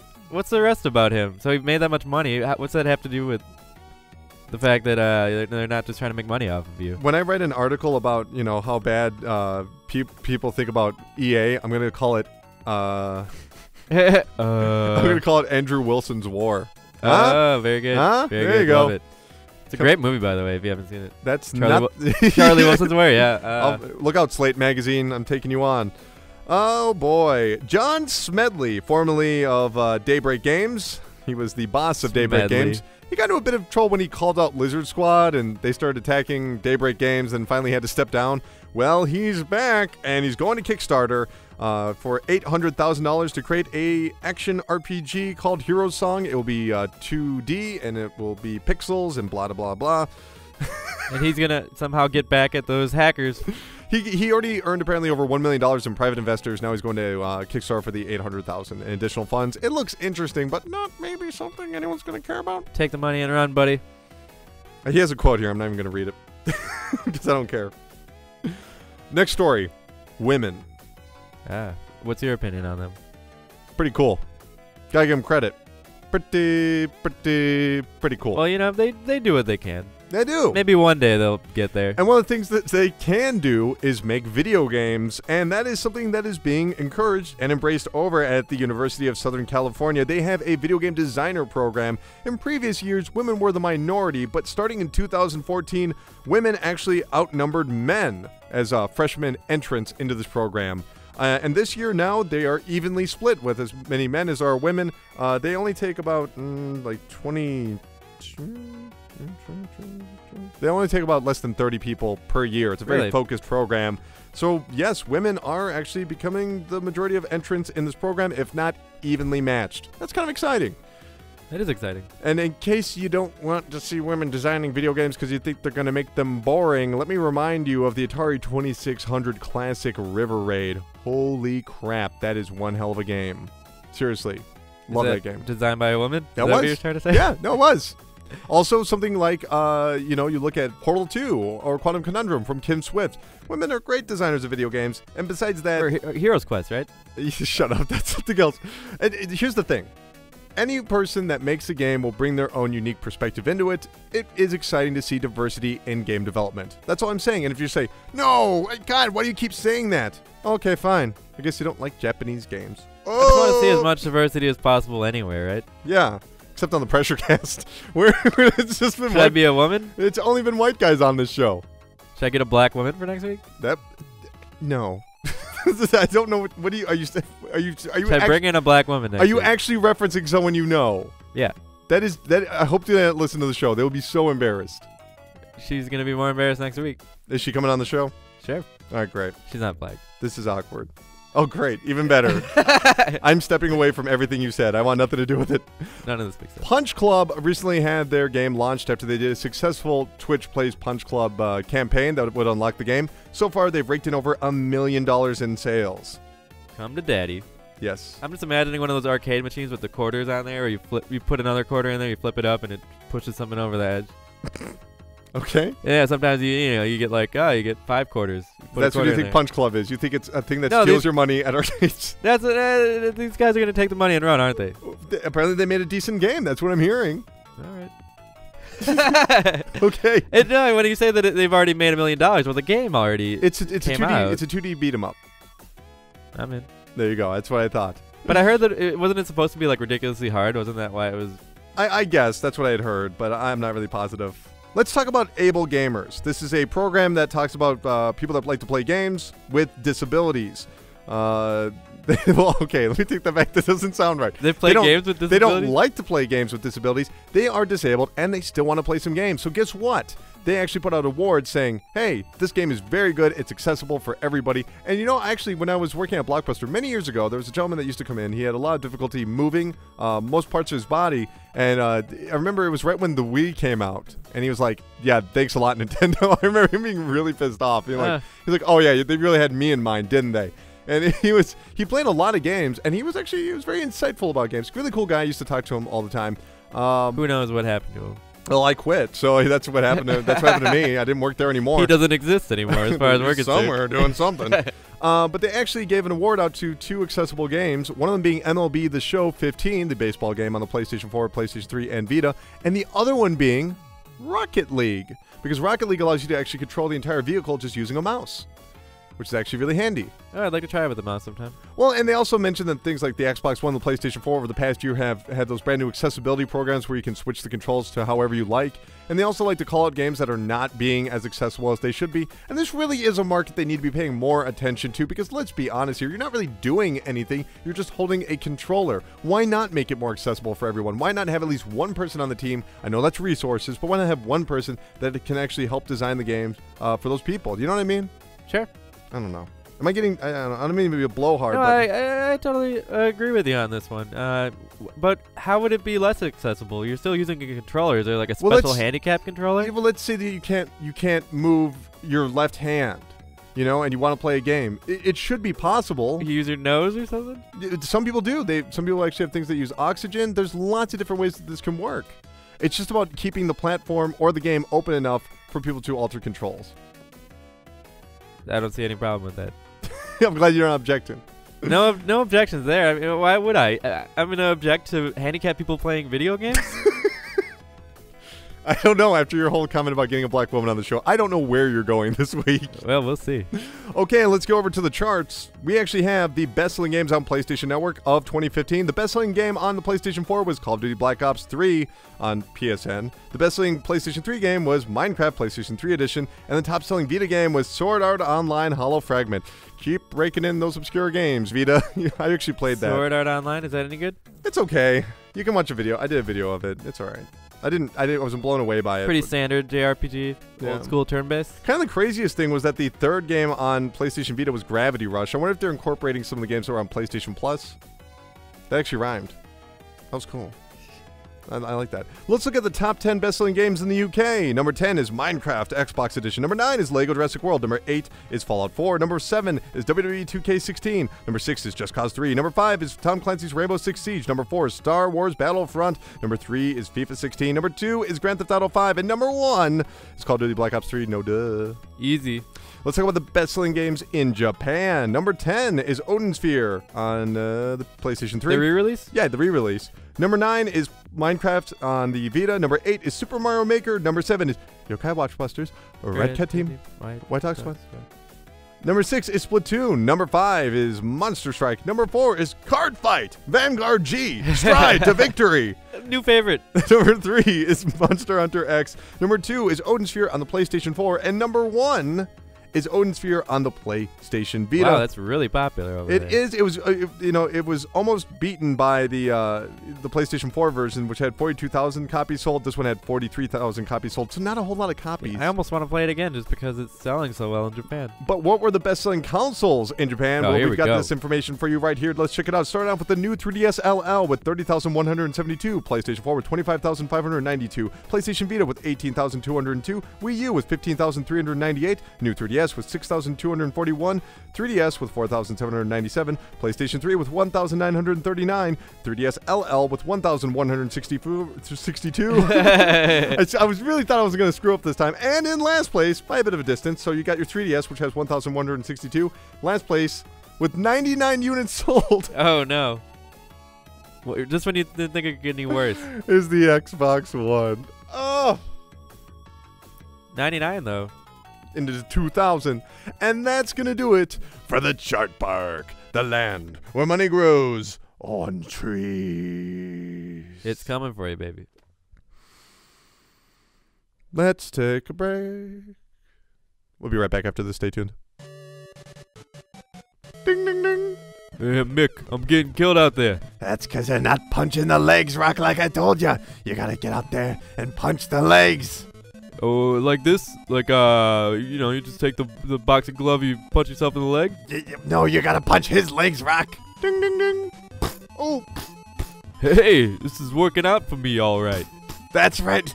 Remember, like I told you about the pressure cast, you have to go to iTunes and give it five stars and a written review. It really helps out the show. What does that have anything to do with boxing there, Mick? I said focus on the legs, damn it! Because the pressure cast needs those reviews to make them more visible on iTunes, and it'll help out everybody out there. And when you're on your last legs and no one's listening to the show, there's gonna be a little angel that's gonna whisper, "Get up!" Because Mickey loves the pressure cast. I'm just gonna go work at that pet store again with my wife. Is that what you want to do with your life? Yes. welcome back to the show, everybody. Welcome back, back, back to the show, everybody. Here we are at the show, everybody. I thought you were gonna do back in time. We're going back in time. Huey. Lewis. Oh, very, very good. Another Uh, Huey oh Lewis. man, a lot of Huey Lewis this week. Let me tell you all about it. But I think we need to get tiny. That's right. It's time for Pocket Talk. Pocket Talk. Pocket Talk. I'm just a little guy. This is where we talk about all those handheld and mobile devices and their upcoming games and consoles, kicking it off with Fire Emblem Fates. That's going to be the upcoming game. It's going to be coming out in two varieties as well as a 3DS eShop download version. Hallelujah. Uh, here's the thing. They have a brand new $200 new 3DS XL that is going to feature some graphics that look very, very nice, uh, taking on the art style of Fire Emblem. It's like a black and white thing, like sword thing. I don't know how to describe it. I'm always just skipping those cutscenes, but I love the game. like I said, I- how you kid, those cutscenes are amazing. Man. It's going to be $200. It'll be out on February 19th, and it does not include a copy of the game. February 19th. Is that when the game comes out? Or? Yes, it does not include a copy of the game. What are we doing anymore? Uh, I don't understand. what are we doing with our lives? Where it's like, oh, I just like the way this one looks. Okay, whatever. Well, you just like buy it on accident. You're like, hey, I can't wait to play it. Oh, there's no game in here. Everyone's gonna buy it too because it's called the Fire Emblem Awakening. Whatever, not Awakening. What, that Awakening one was cool though. It was blue, but it's not new 3DS. So who Well, cares? what about are what are the two different ones? There's Awakening and there's uh, No, no, no. Uh, Awakening's the old version. This is Fates, which has uh, Origins and Fates, Birthright, and then there's going to be Conquest. Conquest Oh, is going to be the downloadable $20 uh, digital game that will be out there. I've got my special edition reserved right now, which includes all three of them in a single cartridge. GameStop, I swear to God, if you cancel, I'm going to be disappointed. You know what I mean? GameStop. Why don't you use Best Buy's abilities? I'm, I'm actually switching. I'm switching over to Amazon because I can get the games uh, before the stores even open. You know, so that's kind of where I'm going. But Also- you're like Nintendo. You're finally moving forward. I'm finally moving forward. Let's move forward over to more Fire Emblem news. They have actually made some changes to this game due to some awkwardness about homosexuality. You might be saying, what's wrong with homosexuality? Why are they deleting it? That's not really the problem. The problem is there's this uh, character here named Sol L. Soli? Sol Ellie? Whatever her name is. She's a girl. She's really attracted to other girls. Very attracted. So attracted, in fact, that she gets really nervous around cute girls. Kind of screws her up for a bit. I can uh, empathize with that. Yeah, me too. Let me tell you. I'm just like, I don't, I don't know what to talk. You like video games? I don't know. That's all I do.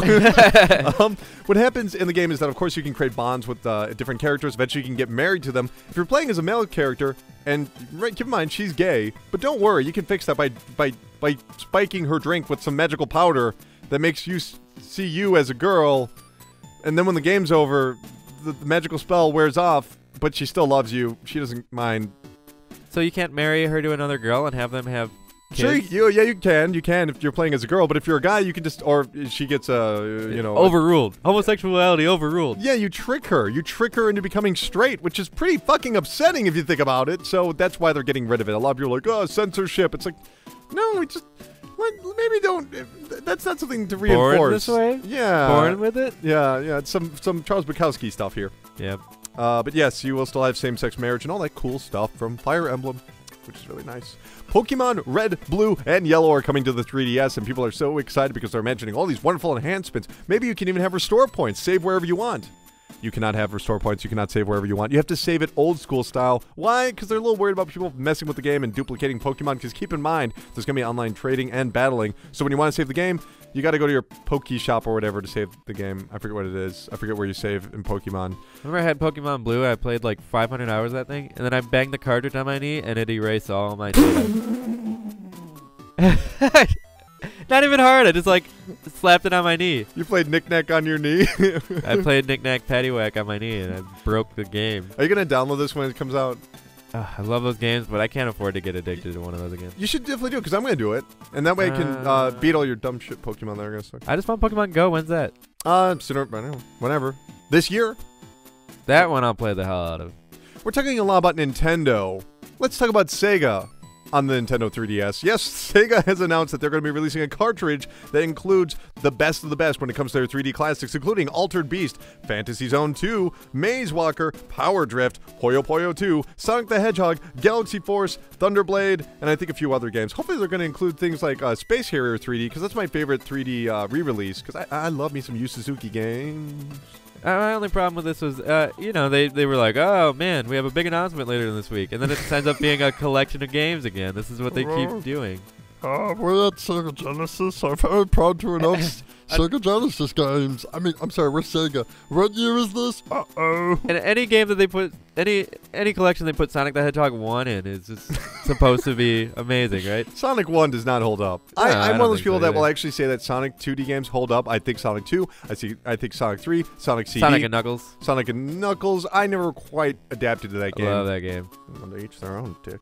Uh, let's go on to Iron Maiden. That's right, they're creating their own mobile game. It's going to be an RPG with action-packed free-to-play RPG steeped in Iron Maiden mythology. I did not introduce that sentence correctly. But they can't afford to use their own music for the game. Yes, they can because gameplay is enhanced with a soundtrack using songs spanning the band's entire career, including previously unheard live recordings of Iron Maiden's classics adapted for the game by engineer Tony Newton under the close scrutiny of bassist and founding member Steve Harris. This is not really that big of a surprise to me because their most recent album, I'm not a huge Iron Maiden fan, but I did see their most recent music video. It was all about video games. Uh, it was really, really cool music video. There's this internet streaming channel that just shows art all day.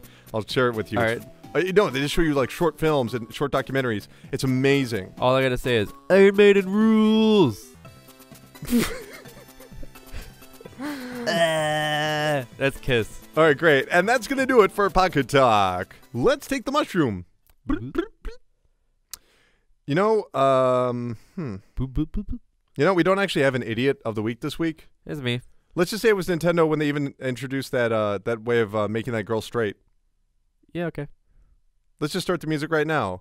Nintendo, for allowing that to be in the Japanese release, you are the idiot dude I'm gonna make her straight. of the week. I guess I like guys now. Cool. That was the shortest version we ever done of that. Now let's move on to the point of the show we listen back to the listeners, where the viewers view us talking about the things they wrote to us. That's right. It's time for thank you for the email. Love you guys for emailing us. This week we have an email from Jordan from Toronto. Lucky bastard gets to live in Canada. Uh, One of these days, you need to have like a real job to move to Canada, right? yeah. They'll be like, "Oh, you're not a lawyer. You can't Uh, come I'm a in here." podcast and uh, video game guy. Oh, okay. Uh, let's just uh, guards. Can you take them away? Here's what Jordan had to say. Hey, Colin and Justin. First off, I want to thank you for explaining my confusion about the hype train. I feel a lot more comfortable knowing about Roscoe is there to keep a watchful eye. I picture him as a never talking, furrowed brow version of Tom Hanks from the Polar Express, only with Vladimir Putin's face. Yes, So, Putin. so again, thank you for that. You're like Putin for some Putin reason. Putin just keeps coming up today. He's a charismatic, handsome leader. You are insane. Uh, regarding the trend you were mentioning last week with episodic releases, people are upset and claiming that these games are being released unfinished or that companies are unfairly squeezing money out of the out of consumers. But I wonder if this, along with the new boom in paywall DLC, Toys to Life slash Amiibo, and multiplayer only releases, are an attempt uh, to figure out how to get maximum mileage out of IPs and assets. Games of old lacked the hardware for save states and massive playtime, so they relied on catchy mechanics that required skill master- mastery. Mastery. Mastery. And in a world where people are plowing through experiences like Fallout 4 mere months after release and moving on, it's no wonder companies are fighting to keep their games relevant for longer. Current AAA story-heavy games are $60. Current AAA story-heavy games at $60 isn't sustainable. So, something has to give. Thoughts? Jordan from Toronto. Interesting question, Jordan. So, he's asking uh, are all these all these systems in place, you know, obviously the DLC, but are episodic games out there just to siphon more money from its users? I don't. I see. I've tried not to be cynical about this because otherwise I would just be able to see it that way.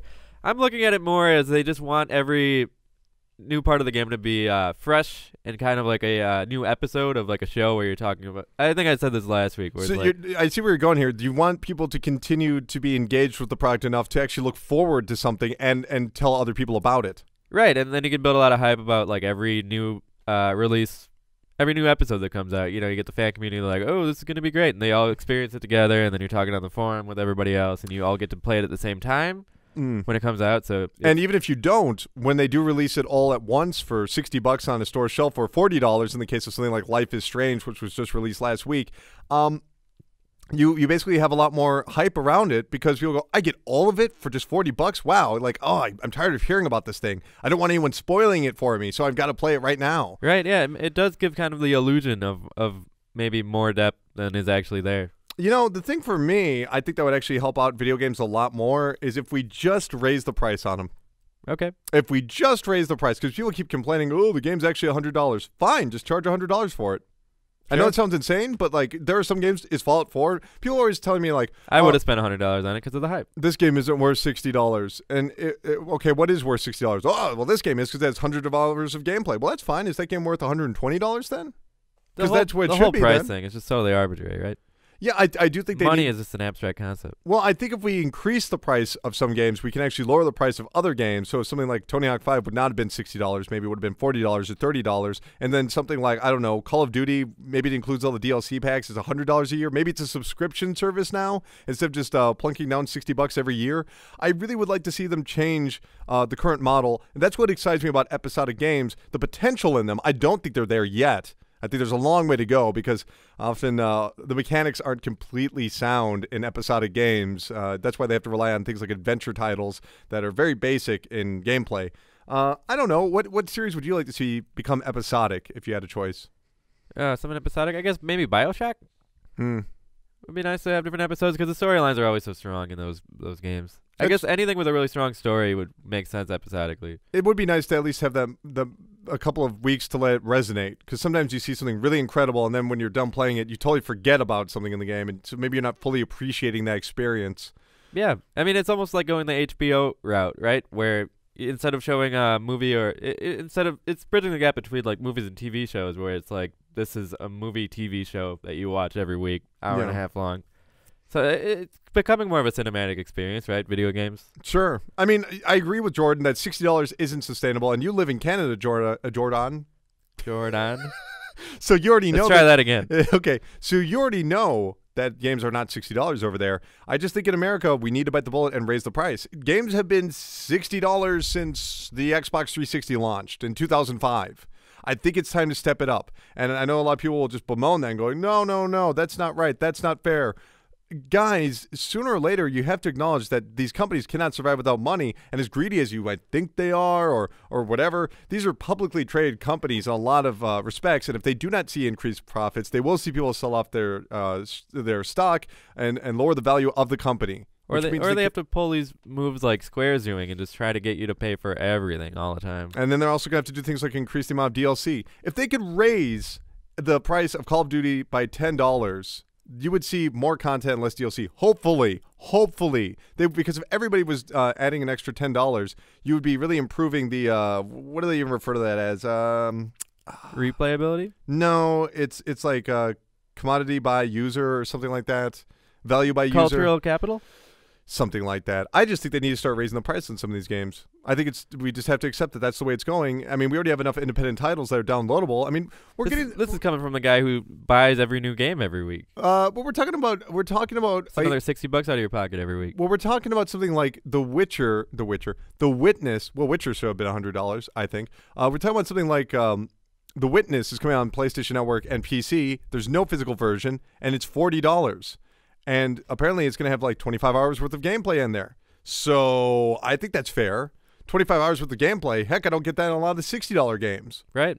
So I, I just think prices should increase. Uh, I think that's what's really going to keep it being more sustainable because the the amount of uh, inflation of the dollar and the fact that we haven't raised the price in a lot of ways has has cost us companies that we really like. You know, companies that, that we wanted to see stick around. They did not because they couldn't afford it. So keep that in mind, guys. And besides that, whenever they whenever they ship out a game to GameStop or whatever, they're really only making about forty one dollars I'm not sure how much of that is profit, but they're making about 41 bucks because uh, you know, they have to ship it and they also have to put it on a shelf. GameStop is really not making that much money off of it. That's why they turn to used games where that's pure profit or mostly profit. So, I. Uh, I got a question for you, Colin. It's a little Uh, unrelated. Well, speak up. Oh, okay, I'm gonna speak up. Um, so how about how much money goes into a AAA title when it comes out? Depends on what the title is. When you look at something like, um, you know, something like uh, Grand Theft Auto 5, that was like $80 million. That also included an advertising budget in there. Uh, Eighty some- million. Okay. I remember Shenmue on the Dreamcast. That was uh, amazing back in uh, 2000 because it cost 70 million dollars. Even though part of that work went on to uh, Shenmue 2, so it wasn't just exclusively working on one game. So you know, uh, games are getting more expensive to produce, and it, oftentimes you won't get a solid number. I mean, like Grand Theft Auto, we don't know how much the game costs to make. Whereas it- it's speculation Just the music itself was probably pretty expensive. we just have to guess because when it comes down to it, the the publishers do not want that information to get out. They don't want you to know how much a game uh, costs to make. Uh, Same thing with like uh, Destiny. That was apparently like eighty million dollars, ninety million dollars, maybe hundred million dollars. We don't know. That sounds low to me. I feel like it's got to be a little bit higher than that. well, you know, especially when you consider that uh, That a Kickstarter can raise that kind of money? a Kickstarter's never Kickstarter's never raised that kind of money. Oh, okay. Well, I guess you that was my that was my follow up Well, question. Star Citizen, you know, where, I I forget how many millions that's into right now, but it's, it's astronomical. So it, this isn't really a big surprise um, that that games uh, are that games are relying on DLC and other things where it's it's very affordable for them because they already have the assets and already reusing it. Uh, And it's something that you already like, so Absolutely, but rarely is DLC ever worth it outside of something like a Rockstar game with uh, something like Undead Nightmare on, on Red Dead Redemption, which is masterful, uh, absolutely uh, amazing. Um, but okay, I think that answers it, doesn't it? No? that's about good. Yeah.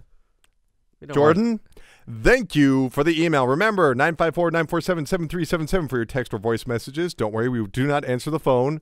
Just send that message. We'll read it on the air. Uh, Kyle's also, mom might answer the phone. Yeah. Hello. Pressurecast at Pressure line. Pressurecast at gmail.com and also at pressurecastpod on Twitter. But let's close out the show with our final segment where we take a look back at the week that was in a segment we like to call Strong History. Bring it on.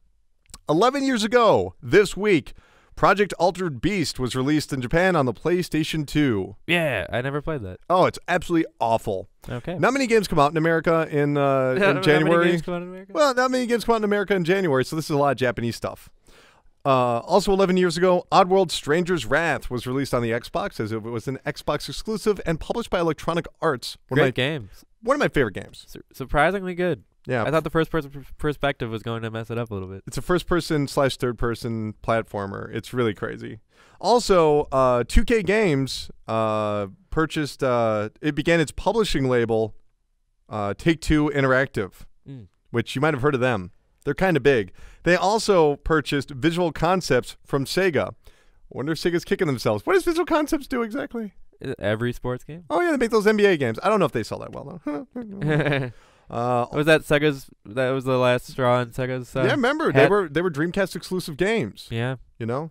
Also, uh, 11 years ago, Take Two purchased the rights to Firaxis and the Civilization series. So that's where they come from. Sid, Sid Meier? Did they purchase the rights of Sid Meier? They, yep, they own Sid Meier. Do they? Is that, he? that chubby man is in their basement. Yeah. Cheez-Its are delicious. Uh, I like tropical stuff now. 12 years ago, Sonic Heroes was released on the GameCube, Xbox, and PlayStation 2. That was just weird seeing it available on all systems. Not a great game, but interesting. Kind of. Yeah, that's sort of Sega's track record Hmm. recently. Huh? 13, y- 12 years ago, yeah. Twelve years ago since then. Yeah. 13 years ago, one of the worst sequels to a great game ever, Devil May Cry 2, was released on the PlayStation 2. Oh, I thought you were gonna say uh, Legacy of Kain, Blood Omen, or whatever Oh, the second one whatever. was. Yeah, that was Dude, horrible. I I rented Devil May Cry 2, and within, no joke, 20 minutes, I knew it was shit. I was like, Yeah. oh no. That game was just so much style over substance, where the first game was skill and style over substance. right. They're just like yeah, they. It, it's like they. That's a great way to start off a sentence. tell you? It is. It's like they just totally misunderstood what people liked about the first game. They're like, oh, this is what they like. The uh, stupid, uh, like the stupid cutscenes, like the bad like mythology stuff, like the storyline. Why didn't they bring back the shot off shotgun? I love charging up that thing, jumping around. You know, It was so cool. yeah, Hideki Mikami. Then they overdid it in three with like, oh, here's all the really cool stuff that you were I- missing out on. I like three. I thought it was a pretty cool game. I did too. I felt like Dante was actually a little overpowered in three. I didn't like part four. That was the one I was like, eh, I don't know about this. Was that DMC? No, no, DMC is an amazing game. You Yeah. should check that. That is fantastic. 15 years ago, Onimusha Warlords was released in Japan. Oni, the game that was uh, worked on by Bungie and Rockstar Games before Jeez. they would go In on. collaboration. Oh my god, yeah, that was before Grand Theft Auto 3 and Halo came out. Can you imagine? I remember that game being okay. oh my god. Yeah, I I think was I cool. rented it from Blockbuster actually. I might have rented it from you. Maybe. No, you didn't. Eh, no, definitely not. Uh, and also, lastly, and most importantly, 15 years ago, Phantasy Star Online was released on the Dreamcast. That game took over my life. I would still be playing that game right now in an alternate universe. 16 years ago this week, Crazy Taxi was released on the Dreamcast. I've put an embarrassing amount of time into that game, and I never really got very good at it. Is it strange that I look yeah, at yeah, yeah, yeah, the, I was going to do that. Uh. Is it weird that I think of uh, Crazy Taxi as sort of like a light roguelike?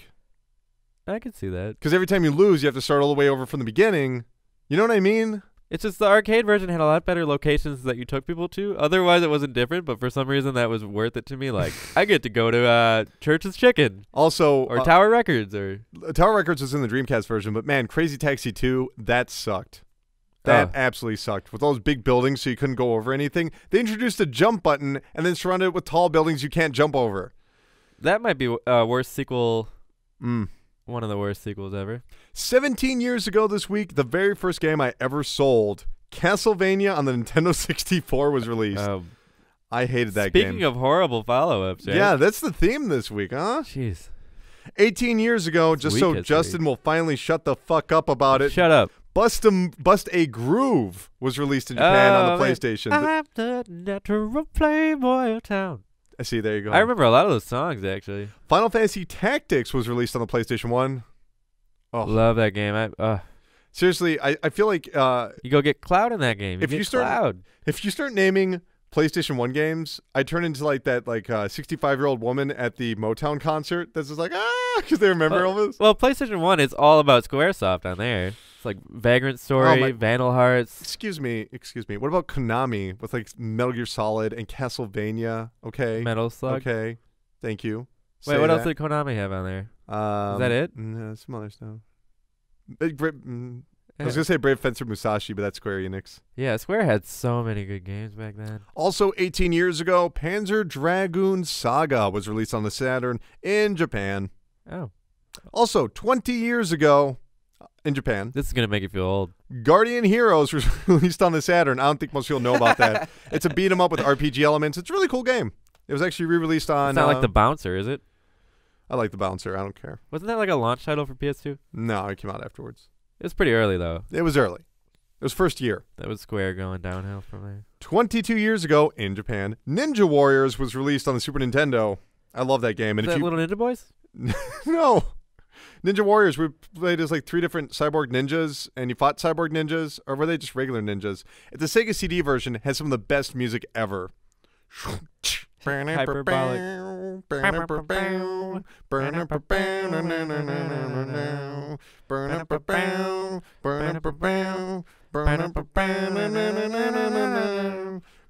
Okay. 20 mm, Have we lost it yet? yeah, 24 years ago on the NES in Japan, Fire and Ice was released, which had a level creator. I thought that was so is that cool. based on the movie Fire and Ice? They're making a sequel to that, by the way. I have no idea what that movie is. Is it Japanese? It was, I think it was by the, uh, no, it's not Japanese. It's by the guys who did Heavy Metal, the movie. You ever see that one? Yeah, animated- that movie makes no goddamn sense. No, it kind of sucks. But Fire and Ice, it's it's really slow moving, like fantasy sort of movie. It reminded me a little bit of uh, like the early Lord of the Rings animated one with Leonard Nimoy doing that. I think that's because what was his name? Ralph Bakshi worked on both of those. Oh yeah, okay. Not Ralph Bakshi. Oh, what's his name? You know what I'm talking about. He also did that uh that that 70s inner city movie with like the disco dancing and shit. I forget what it's called. You know if you follow Saturday Night animation. Lights. Not even close. No, 27 years ago in Japan, Saturday Night Fever. Clash at the Demon Head was released. The Vapors, man. That's a crazy good game. 31 years ago, also in Japan. I told you it's going to be mostly Japanese centric. Japanese. Shut the It sounds like French. Japanese. Oh, Ice. Climber was released on the NES. Ice climbers, plural. Right? Ice Climber, There's only one in that one. that's what it's called on the NES in Japan, also known as the Famicom. And lastly, 32 years ago this week, Uh, 32 years. Apple released the Macintosh, which of course has one of the best Super Bowl ads of all time. You know? Is The that the one with the guy who gives the, his sweaty jersey to that kid? No, it's the one with the girl that runs and uses the hammer and swings it around, and, and it's like based off of 1984. Uh, Oh yeah, yeah, yeah. yeah. Macintosh is why 1984 won't be like 1984. I remember that was a good one. Yeah, it's a cool commercial. And It's not Mean Joe Brown. It really though. changed the landscape of Super Bowl advertisings. Happy Super Bowl, everybody. Actually, that's two weeks from now. Whatever, I don't care. I got a big bet on the Cardinals this week again. okay. Double or nothing on the Cardinals, baby. Just admit to gambling on the on the podcast. It's not. Uh, it's not money. we're not gambling money. We're gambling uh, gummy bears. okay. What do you say we close out the? Mm, that's too annoying. What do you say we close out the show, Justin? Where can people reach you on the internet? I am at Justin Engelbart on Twitter. I'm not using my uh, other Twitter account anymore because I had so many followers on there already. Sorry, this is uh, behind the scenes stuff. I'm letting you into my head here. And also on at Justin and Colin on YouTube. We got to do some more stuff so I can put more things up. Okay. I think I'm gonna do a solo video actually this week. okay, just put it on Pornhub. uh, no, I'm, I'm gonna do that stupid uh, I want to be the man game. I think. Okay. Isn't that what it's called? Is that what it's called? I want to be the guy.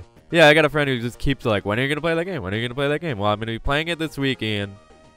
Oh wow. I'm coming for you, baby. Ian on blast. Okay, you can follow me at Dr. Karate Chop. That's at Dr. Karate Chop. You can follow the Pressurecast at PressureCastPod. Of course, you can email us, pressurecast at gmail.com, or you can call or text us 954-947-7377. Remember, all of that's in the description below, so check that out. Uh, if you check out my videos this week, we will have a video on The Witness. We'll have a video on Lego uh, Avengers.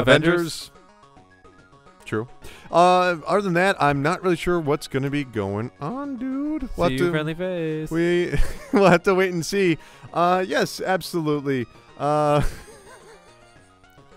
I don't know how to close it out this week. let's, let's just vamp for a second here. Uh, no, no, we're already the music's playing, dude. We got to close out the show. All right, um, bye. well, okay. It looks like the Wii U is going to end when the NX comes out, and maybe I think that Nintendo. comes out this year. I think it does. uh, maybe Nintendo will burn to the ground. Who can tell you? It's all going to be over sooner or later because the universe will collapse in itself. In fact, the Earth will be consumed by the sun. There's Everything you've ever loved and known that's material will evaporate, and existence itself will cease. But don't worry, because the pressure cast has got to buy. Because the pressure cast is forever. Meep. Bye, guys. See you next week.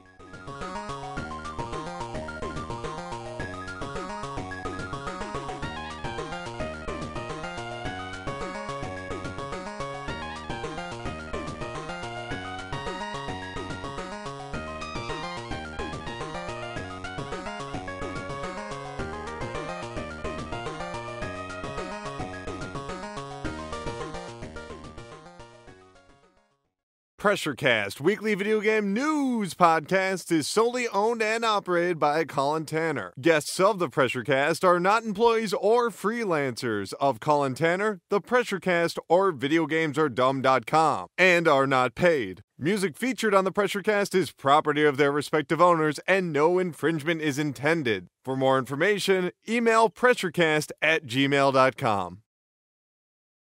Yo, yo, Mick. I'm getting killed out there. That's because they're not punching the legs, Rock. You gotta punch them in the legs. Like this? Yeah, yeah, like that. Now get out there and punch them in the legs. Ding, ding, ding, ding. Oh, man. Oh, no. Oh, he's, killing me out there, Mick. What do I do? Remember what I taught you about the pressure cast? You had to give it five stars and a written review. Oh, oh, oh, oh yeah. Okay, I'm going to try this again. Hey, big winner. All right, we did it, Rock. You didn't do anything. You didn't do anything. It was all me. I taught you what to do. I said get out there and punch the legs. I said remember what we did with the pressure cast. You get out there and give it a five star review, and we got to a summer. What the hell are we talking? you didn't do anything. I think it was fine, man. I think it was funny. All right, let's do it again. All right, ready? Boom, ding, ding, boom, down. Bobby. Now hold on there. Uh, you're pretty good at this. no, really. I don't have it down yet. Not anymore, but that the first part was good. Okay, here we go. All right, now take a sip out of the can. You ready? Yep. Yep. Mm-hmm. Hey, Bobby, where are you going right now? Uh, I'm going. Start over. wait, wait, wait, where do I go? What do I do? You're going to the fair. You want? You're going to ask me if you can borrow five dollars. You ready? So wait, but where am I going? You're going to borrow five dollars. It doesn't matter. Okay.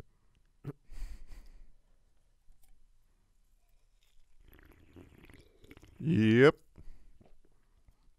Yep. Mm-hmm. We have, have dang on pressure gas. Mm-hmm. Hey, Bobby, where are you going? Hey, Dad, can I borrow uh, five dollars? Oh, I suppose so. Did you do your chores? Mow the lawn? No, he would never let him mow the lawn. That is inaccurate to the show. All right. Should, uh, I won't let you mow the lawn. All right, let's All right, try let's it try again. again. Hold on, let me get this again. Yep. Yep. I drank too much. Let's try it again. I drank too much soda. Let's do it Uh, again. let's do it again. Yep. Yep. Mm-hmm. We're on some dang old podcast. Hey, Bobby, where are you going? Hey, hey, can I borrow five dollars? Dang it, Bobby. All right, that's good. yep.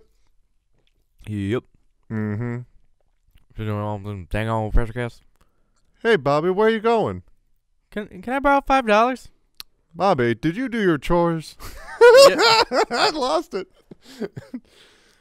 All right, hold on. Bah. Dang it, Bobby. did you have to do that again? okay. Yep. Yep. Mm-hmm. Hmm, um, dang old pressure cast. Bobby, where are you going? Can can I borrow? Hmm. All right, here we go. You ready? yeah, I'm ready. Let's do it. Hold on. Yep. Yep. Hey, Bobby, where are you going? Can I can I borrow five dollars? Did you do your chores? Clean your room? Yep. Did you happen to wash the dishes for your mother? Of course. Yep. Did you give five stars in a written review to that video game, video game pressure cast you always listen to? Ooh. I haven't. Uh, no, I'm getting around to that one. No, Bobby, you know when you create a contract. a contract. Dang it, Bobby. There we go. That sounds more like him. Hold on, I got to burp now. Dang it, Bobby. there you go. You got it. Don't you know when you listen to the pressure caster? Maybe you can use that burp for something. All right, hold on. Yep. Yep. Mm-hmm. We're some um, dang old pressure gas. Hey, Bobby, where are you going? Yeah, yeah, Dad. Can I borrow uh, five dollars? Well, five dollars. Well, I suppose it's your allowance. Hey, did you do all your chores? Did you clean your room? Yeah, I clean my I clean my room. Did you do the dishes? Yeah, yep. Did you give five stars and a written review to the pressure cast? Oh, I'm. I was gonna have Mom help me with that later on. Bobby, it couldn't be more simple. You just gotta go into iTunes, go over to the pressure cast, give them five stars and a written review. You see, Bobby, when you listen to something, you you're getting into a contract with them. I'm sorry. You have something usable there? Okay, hold on. No, none of usable. Hold on. Hold on. We gotta stop and restart everything. The guy who used to come over to his house? Mickey? No, the other guy. What?